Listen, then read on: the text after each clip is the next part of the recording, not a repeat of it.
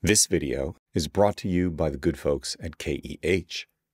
Not only is KEH the oldest and biggest at what they do, buying and selling exclusively used camera gear of all sorts since 1979, but they do it well with integrity and both a 180 day warranty and 21 day return policy, free shipping on orders of $75 or more. Which is why, because they make it as futz free a process as possible, they are our go-to whenever we are looking to fund new purchases by selling our own gear or buying that special used piece of kit properly graded and checked when we want to go quirky or old school. Check them out using the special links and 5% discount or bonus code in the video description below. Thank you, KEH. History is so easy to forget. Heck, we've got some politicians intent upon passing legislation making it illegal to remember and too often we are the poorer for it. But sometimes, especially if those memories are rooted in childhood or any other particularly critical moment in one's development, something as simple as the aroma of a hot bowl of chicken soup, a piece of music, or a photograph, maybe the sight or feel of a long forgotten camera which captured that photograph, can catapult that memory back into one's consciousness with a if we're lucky enough, sense of joy, euphoria, maybe just a quiet smile, possibly deep reflection. And then there are times when we couldn't possibly have those memories because we weren't there or weren't yet born. Oh well. Funny thing about that, though, because if we can retain our childlike curiosity into adulthood and one day come across a concretization, a physical embodiment of one of those moments, whether we were there or not, like this mid 1960s Pentax Spotmatic, a talisman, really, the way I think about it. We can be transported to a time and place we've never been before and truly, maybe forever, become the richer for it, expanded by it if only we make the effort to place it in its proper context, hold that thought.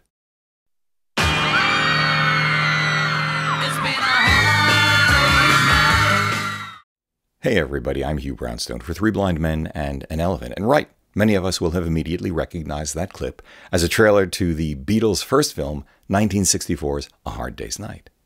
But what does that have to do with a half century old 35mm film SLR?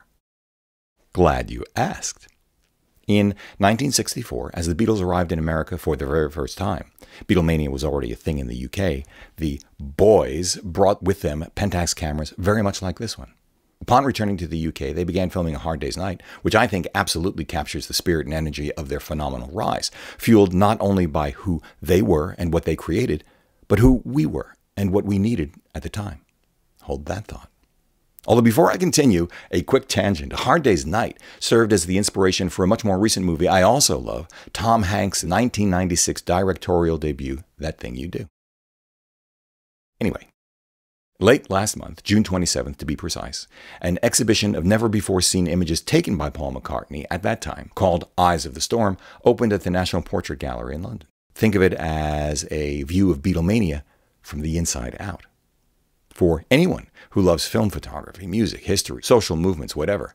Notice that the one common denominator is love because love is all you need. It is a must see.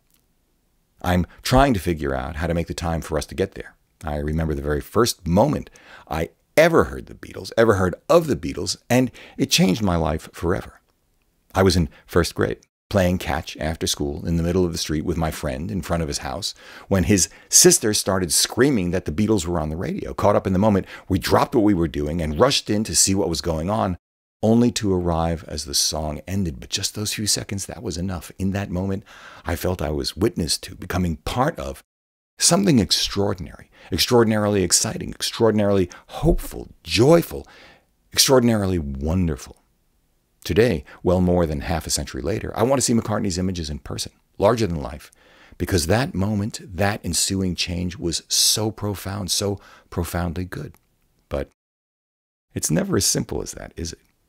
Because those two thoughts I asked you to hold the notion that their meteoric rise was fueled not only by who they were and what they created, but who we were and what we needed at the time. That We can be transported to a time and place we've never been before, and truly, maybe forever become the richer for it, expanded by it, if only we make the effort to place what it is that we are seeing in its entirety, in its proper context.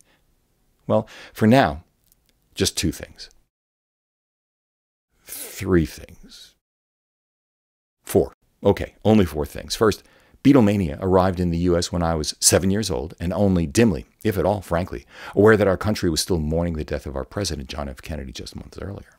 Second, the Beatles arrived one year before the passage of the Civil Rights Act, two years before the passage of the Voting Rights Act, both signed into law by President Kennedy's successor, Lyndon B. Johnson. It was an era of profound social change. Don't really know what that's about? Then take a look at this the thinnest of historical slices that tells you a lot about the country back then and what love is all you need can really mean. We got to America, we're down in the southern states, and we suddenly get told that we've got to play to a segregated audience. That's the way we do it down here. What, you mean the black people in one bit and the white people in the other? said, no, we, we, don't, we don't do that. So we just refused to, and we said, no, we're not going to play unless it's a non-segregated audience. And it was a lovely story. Later, there was a girl, a black girl, who went to the concert. So she's sitting amongst all the white fans, and they're all just loving the show, and they're screaming and everything. And she said, I'd never sat with white people ever before. She said, and here they were, we're like friends, and we're all like loving this group. For me, I think that was very emotional. It still is.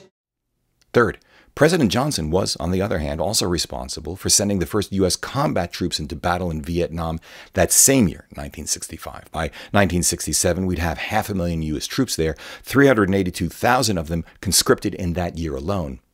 Massive anti war demonstrations back here in the U.S. It was a moment in history perhaps best captured by another band, an American band called Buffalo Springfield, when they released For What It's Worth. Of course, there was so much more to come from the 1968 Nixon Agnew ticket winning the White House to the disgrace and resignations of both of them just six years later, but that is another story, perhaps, for another time. But see how the cross currents of history and memory can intersect in such extraordinary ways, again, if we only choose to see them? This is a short video. Let's wrap it up and bring it back to the here and now. For those of us who cannot get to the National Portrait Gallery, there are other options, beginning with a virtual tour of the exhibition courtesy of the National Portrait Gallery. It's available for free on smartphones via the Bloomberg Connect app. And of course, there is so much coverage of the exhibition, including more interviews with Sir Paul, right here on YouTube. Just search for him. But then you might want to go at it by picking up your own time machine, like I have, a vintage 1960s Pentax for yourself. We're talking about what, 250 bucks, including the 51.4 Super Takumar lens I just showed you? Then going out, shooting with it on your own schedule, in your own time, I recommend Tri-X and channel as you cock the film transport lever, bring the camera up to your eye, manually focus the lens while looking through that single lens reflex viewfinder and tripping the shutter, the spirit, the wonder, the improbability of it all, the same kind of tactile sensation and viewing experience of a 21 year old lad from Liverpool, living a life unthinkable just a few years earlier, about to embark on another life altogether. Just imagine. A big shout out to KEH for sponsoring this video, a great resource for finding just this kind of gear. Check them out using the special links and 5% discount or bonus code in the video description below. Thank you, KEH, if you like what you've seen here today, please give a thumbs up, subscribe to the channel, join the conversation in the comment section below because this is an exceptional audience.